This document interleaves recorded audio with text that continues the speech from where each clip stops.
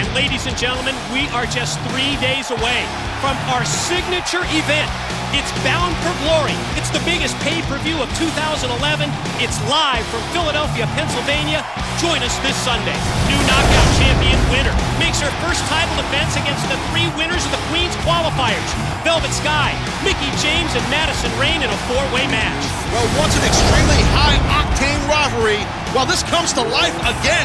Jerry Lynn basically said he's sick of being in Van Dam's shadow, so now the two will battle in full metal mayhem. Ladders, chairs, tables, legal. Well, you know what, Mike? Buckle up. Newly crowned X Division champion Austin Aries puts his title on the line for the first time against former champ and number one contender, the Wizard of Odd, Brian Kendrick. Well, I gotta say, I got a funny feeling that these two teams right here, they're gonna beat the living snot out of each other this Sunday. And how about Ink Inc. Mike having an equalizer for the females of Mexican America? We might crown new tag team champs this Sunday. Also this Sunday, Immortals Bully Ray and Mr. Anderson. They're going to be turned loose in an anything goes, falls count anywhere fight. Best friends, members of fortune, of brotherhood, all gone now. Now AJ Styles and Daniels, they find themselves in a match that historically has been extremely nasty. You win by making your opponent say, I quit.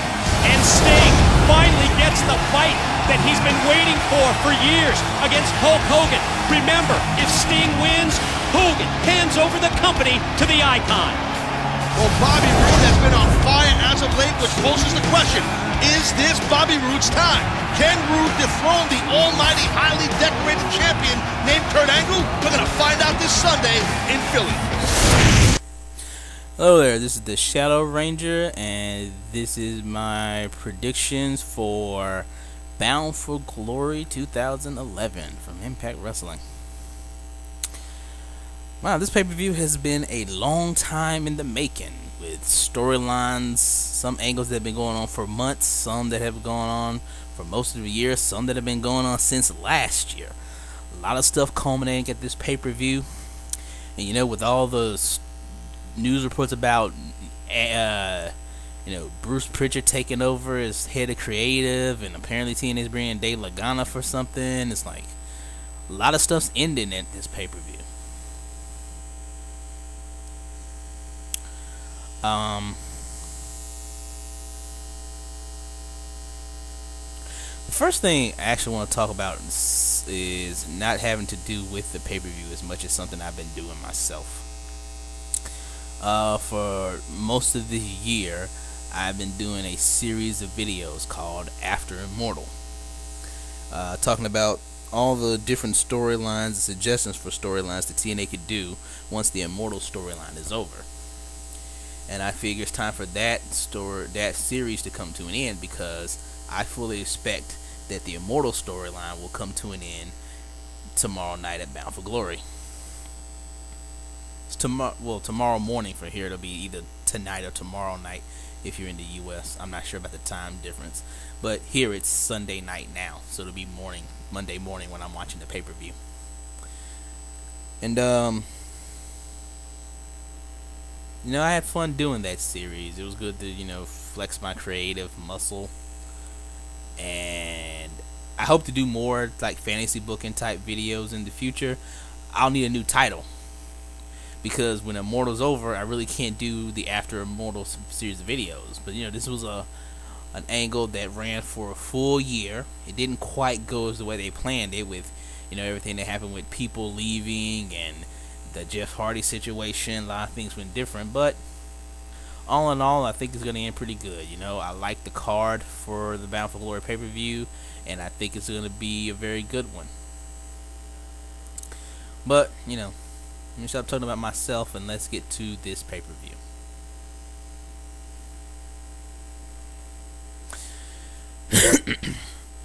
now, for the pre show, which will be aired live, uh, apparently it's going to be on Facebook.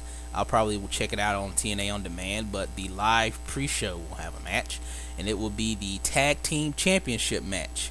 Will be uh, champions Mexican America defending against Ink Inc. Uh, I think this is a match a lot of people wanted to see. They already brought in Christina Von Eerie as part of this thing. So you know, I, I as one of my after immortal videos, the other ones I did one called Guys and Dolls where I talked about this exact feud of Mexican American Ink Inc. Christina Von Eerie coming in. Everybody's here here in TNA. The only person left to complete the story the story is, is Buggy. If TNA brings in Buggy, the team with Christina Von Eerie, the whole thing that I had planned out is ready to go. But with Mexican America getting the belts just so recently, I don't see them losing. I think Christina will be able to keep Sarita and Rosita at bay, but with two of them and only one of her, they she might not be able to keep them from interfering completely. Either way, um, I can see this storyline going a lot longer, and I hope it does go longer. Excuse my cough there. I'd like to see these two teams be the centerpiece of the tag team division for a little while. You know, um, the British Invasion is still there. Machine Guns should be back in a couple of months now. I think Sabin's supposed to be able to return in January or February. Hopefully, there's some a couple of new teams they can put together to, to you know refresh the tag team division. But but since they won the belt so soon, I don't see them losing it. I see Mexican America retaining, but you know I think after the match Ink Inc. will get the beat down after the match and they'll leave standing tall, but Mexican America will leave still the champions. Maybe Ink Inc. wins by DQ. The point is, the belts aren't changing hands, not tonight. I can see Ink Inc. getting them in the next couple of months, but Bound for Glory, I don't think Bound for Glory will be their night. But I expect the match to be fun, though. I'm interested in seeing what the girls do in this match. I think we'll get some good stuff out of there. Um, I'm actually altering the volume on this, so if the video suddenly just got a lot louder, I apologize. I'm still getting used to this new mic I just got. Anyway, let's move on to the next match. Full Metal Mayhem, Rob Van Dam versus Jerry Lynn. It's a Rob Van Dam match. I don't really care. I mean, I like Jerry Lynn, but eh, he hasn't been relevant in years. Uh, it's Philly, so they're giving him an old uh, ECW style match. I, I, don't really care about this match at all. RVD wins it. Let's move on. Triple threat match: Samoa Joe versus Crimson versus Matt Morgan. This is a weird match. It's hard to predict who's gonna win because all three guys need to win. Matt Morgan had a couple of loss, big losses, and I want he needs to be kept relevant if he's gonna stay in the main event title picture. You know, Crimson's still undefeated, so you don't want him to lose. And Samoa Joe has has lost a lot of matches recently. He needs this big win more than anybody. So I, I am gonna have to. I, I can't see Crimson getting beaten because I think they want to keep his undefeated streak going. And if he doesn't get pinned, they still can call him undefeated. They used to do it with Samoa Joe in the past. So with this match, I am going to pick Samoa Joe to win. He's gonna have Joe will make Matt Morgan tap out or pin Matt Morgan. But I don't see Crimson being the one getting pinned. But I'm going to pick Samoa Joe to win. Uh, Knockouts Championship match. We got a four-way Winter defending against Madison Rayne, Velvet Sky, and Mickie James. It seems like they've been building towards Velvet Sky winning this title, and I, I, I think it's a long, it's, it's, it's, it's a long time coming. I think she is clearly the most popular and the most marketable knockout I think she's the person that everybody wants to get behind. I I can't see any reason why she shouldn't win, unless it's a big screw job.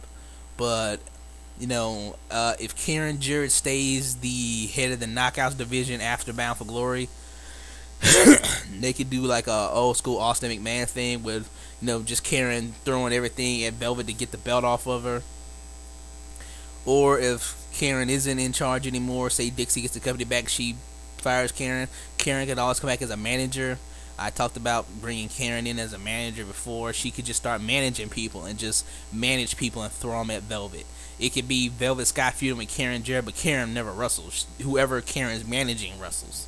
You know, it's kind of like how how you always it'd be kind of like how you know Bobby Heenan would feud with wrestlers but he wasn't a wrestler; he was a manager. So his wrestlers would just wrestle matches, but you always want to see the babyface get Bobby Heenan on the ring and you know knock Bobby Heenan out one time, and he would always manage to get away, be the weasel. You know, I think they could get away with something like that. It's an old school thing, but it still works. Just every time Karen, uh, Velvet's close to getting her hands on Karen, Karen runs and screams like a little baby, and Velvet's got beats up whatever the whatever heel Karen's throwing at her. But I'm gonna pick Velvet Sky to win and be the new Knockouts champion. Falls Count Anywhere match: Bully Ray versus Mr. Anderson. Um, Falls Count Anywhere match is always fun. That means they can get hardcore. They can go all over the building. Again, I think it's more that Philadelphia thing, that Philadelphia ECW thing. They want to give them some hardcore matches where they just go all over the building and beat the crap out of each other. Um, I'm still seeing this pay per view as a culmination pay per view. If Bully Ray wins, this feud isn't over. Anderson wins, you can end it. So I'm going to pick Anderson to win. X Division Championship: Austin Aries versus Brian Kendrick. Should be a fun X Division match. Um, Aries won the belt at the last pay per view. I can't see him losing it at this one. Of course, TNA has been known to do that kind of thing. I, I, I, they've done stuff like that before, where they take the belt off a guy just to have him win it right back. They want to have Brian Kendrick win the title at this pay per view. I can see them doing it. I don't think it'd be a good idea. I'd rather see the belt on Austin Aries for a while, have him have a good extended run with the title. I think there's more potential with him, so I'm gonna say I hope and am picking Austin Aries to retain. AJ Styles versus Christopher Daniels in an I Quit match. It's bound for glory. It's AJ Styles. I can't see him losing. I don't think he's ever lost a Bound for Glory match. Eh, somebody check this out. If you could, has AJ Styles ever lost a match at Bound for Glory? Um, I think this will conclude their feud.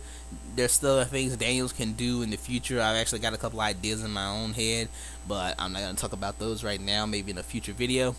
But I expect the match to be a very fun They'll have some really good wrestling going in the ring. They'll go for a lot of good, do a lot of good submission stuff. Then they'll, you know, bring out some weapons and go at it for a little while. But in the end, I'm picking AJ Styles to win. Daniels will say I quit. Uh, Hulk Hogan versus Sting. And this match, as they say, is for control of the company. That if now they said on Impact at the beginning, Mike Tenay said it was career versus the company apparently playing it up as if Sting loses, he'll retire. But I'm not sure how they're gonna go with it. But it's all set, so it's hard to say.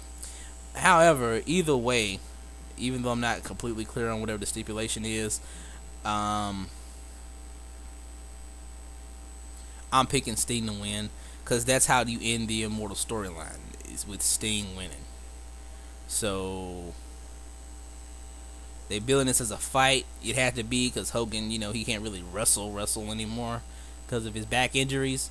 But you know, they can have a good, fun little brawl over the building. You know, hit each other with some chairs, throw a lot of punches and kicking. But there'll probably be some interference, a lot of interference in this match. But in the end, uh, Sting will pick up the win, and that'll be the end of Immortal. Dixie Heads are coming back. All is right with the world, and everything will be set just fine for our main event, which will be for the World Heavyweight Championship. Champion Kurt Angle will defend against Robert Roode. Everything that they have done building to this pay per view says that Robert Roode is going to win. Everything from the Bound for Glory series to turning Kurt Angle heel to having and in the five episodes of Impact leading into Bound for Glory, Roode wrestled in, on four of those episodes. Angle wrestled on one. They made him fight his friends. They beat him down towards the end. Everything says that Roode's gonna win. But I and I want and I think everybody wants Roode to win. Everybody I've come across seems to want Bobby Roode to win. I think you're gonna have a lot of angry fans if Roode doesn't get this belt. And I think it would be the right move. I think that Kurt Angle doesn't need the belt. I think there's a lot of new things for Kurt Angle to do. If Kurt wants to take some time off, he's had a very busy year in the company. If he's really serious about going for the Olympics again, he'll need time off the train. I think everything for the future of this company is will work with Roode as champion.